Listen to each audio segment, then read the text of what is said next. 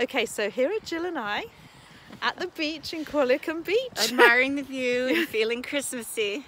And this is Standing what... too close together. and this is what There. we can see. see the mountains. Beautiful. It snowed a little bit out there.